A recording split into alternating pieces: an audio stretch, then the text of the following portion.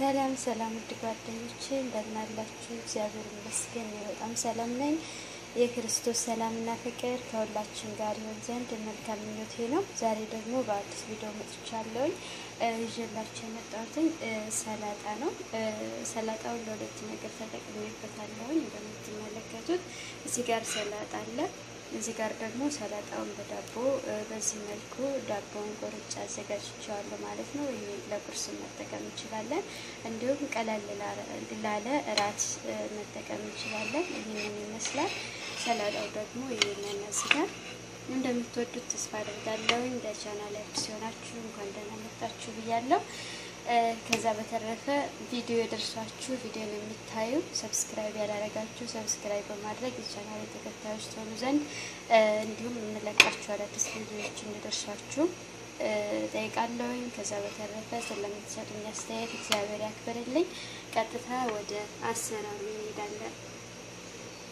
መጀመሪያ ስራ የሚሆነው እዚህ ጋር ግዛጅ ስላላለኝ የዶሮ ልብ አጥንት የሌለው በስሱ ቆራረጠዋለሁ። እንደዚህ ለሁለት ከከፈልኩኝ በኋላ ስለሻርጌ በስሱ ማለት ነው።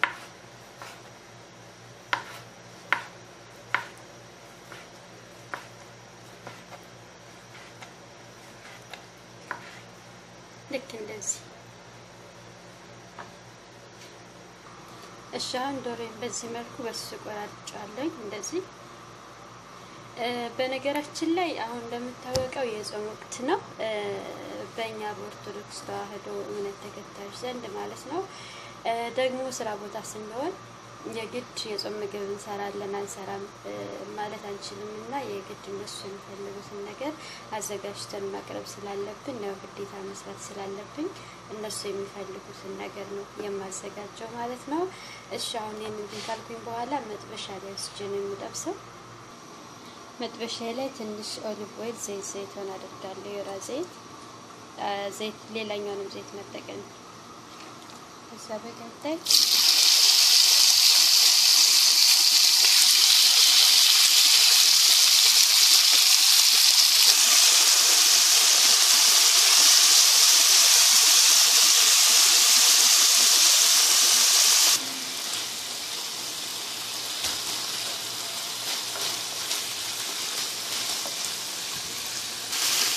እንደዚህ መልኩ ተጠብሻለሁ። እንዲሰራ ይፈልጉት ይበቃል።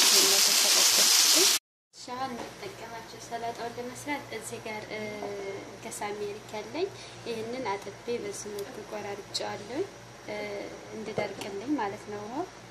እዚህ ጋር ሁለት ኪያር ወይም ደግሞ ኮከምበር አለኝ። ቲማቲም አለኝ። እዚህ ጋር አንድ ቃሪያና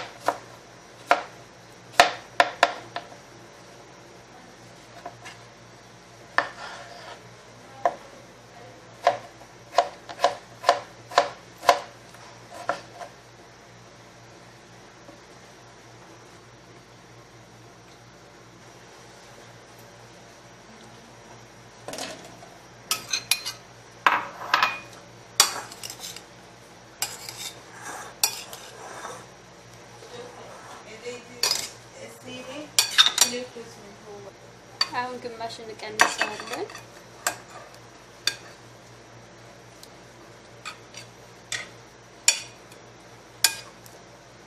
ይህንን ለሰላጣ ነው የምጠቀምበት።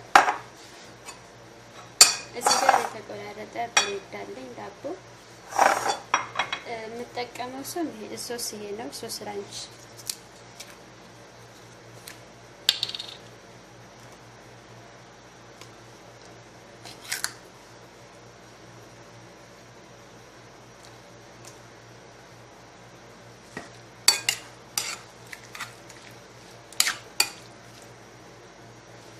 በዚህ መልኩ አማስየዋለሁ። በነገራችን ላይ ይህን ቪዲዮ ቁጥር አንድ ለብቻው ሰርቸዋለሁ። ማየት ለምትፈልጉ ከስር link ኡን አስቀምጥላችኋለሁ።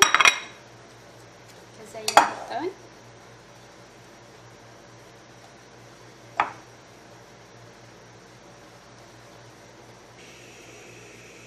okay በዚህ መልኩ ሰርቸዋለሁ። ይህንን ብድግ እያደረግን ቀጥታ መብላት ማለት ነው። ልክ እንደዚህ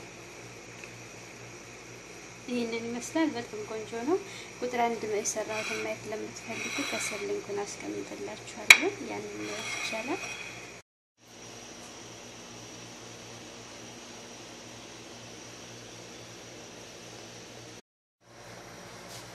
እሺ አሁን ይህን ሰርቼ ጨርሻለሁ። ሌላ የቀነስኩትን ደግሞ የምሰራው ለሰላጣ ነው። ሶሱን እጨምራለሁ። ያሳያችሁን ሶስ ናች። በጣም ከበዛ ላይ ያጋድላል። በትንሹ ይህን ያክል ያው ከወደድን መጠቀም እንችላለን። ችግር የለውም። በርካታ አድርገን ይህን በደንብ ነው እኔስ እኔ ለጊዜያዊ ነገር ነው የሰራሁትን። ለድግስ በርከት አድርገን መስራት እንችላለን። በቃ ይሄን ይመስላል።